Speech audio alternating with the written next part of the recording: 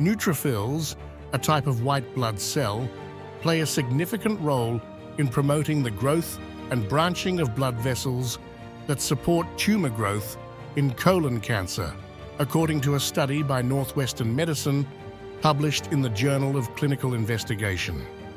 The study found that neutrophils, once recruited by a tumor, acquire new functionalities to promote blood vessel development within the tumor, diverting blood flow to feed the cancer.